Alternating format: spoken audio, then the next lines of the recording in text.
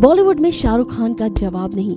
बॉलीवुड में शाहरुख खान ने अपने दम पर वो मुकाम हासिल किया है जिस पर पहुँच पाना किसी के लिए इतना आसान नहीं होता। बॉलीवुड में बिना किसी गॉडफादर के शाहरुख खान ने अपनी वो पोजीशन बनाई है जिसके बारे में कोई सोच भी नहीं सकता। इतना स्ट्रगल किया उन्होंने फ़िल्मों के लिए, लेकिन आज वो बॉलीवुड के किंग खान है।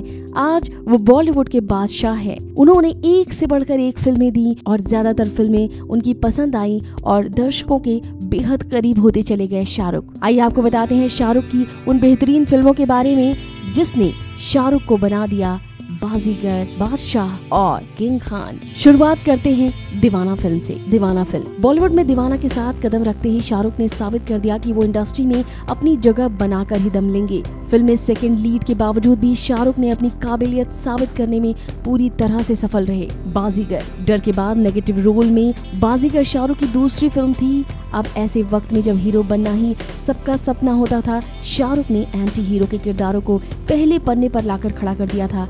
इसके लिए उन्हें फ़िल्म फेयर का बेस्ट अवार्ड भी मिला। बाजीगर के बाद उन्होंने अंजाम में भी नेगेटिव किरदार निभाया। दिलवाले दुल्हनिया ले जाएँगे।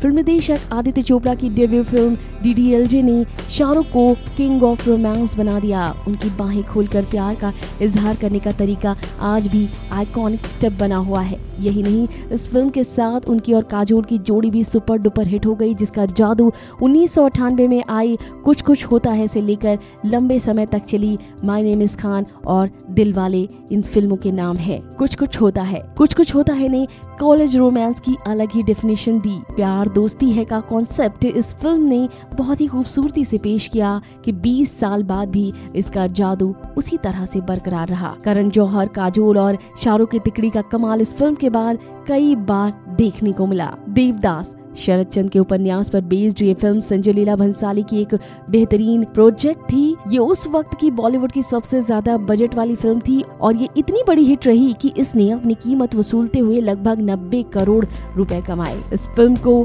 बेफ्टा का best film not in English का अवार्ड मिला और शाहरुख को फ़िल्म फेयर के बेस्ट एक्टर का अवार्ड कल हो ना हो।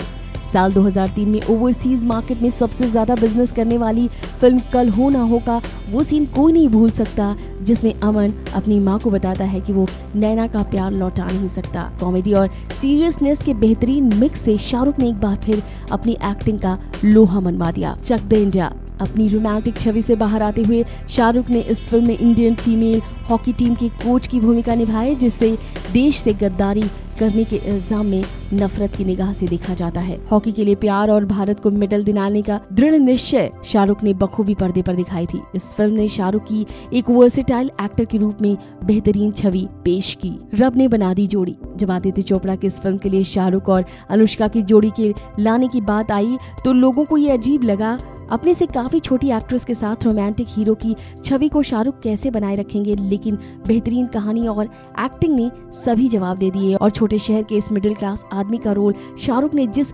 मासूमियत के साथ निभाया, वो अपने आप में ज़बरदस्त रहा। My name is Khan Kajol के साथ एक बार फिर लंबे वक्त के बाद शाहरुख ने ऑस्टिक्स व्यक्ति की भूमिका निभाई, जो कि साबित करने निकला है कि आतंकवाद के लिए कोई खास धर्म जिम्मेदार नहीं है। इस फ़िल्म की कहानी जितनी खूबसूरत थी, उतनी ही बेहतरीन थी। शाहरुख की एक्टिंग भी। इसके अलावा डर परदेश वीर जारा, स्वदेश कभी खुशी कभी गम इन सभी फ़िल्मों में शाहरुख ने ज़बरदस्त दम दिखाया। तो ये है शाहरुख की वो फ़िल्में जिसने शाहरुख को बना दिया बॉलीवुड का बादशाह। फ़िलहाल इस वीडियो में इतना ही।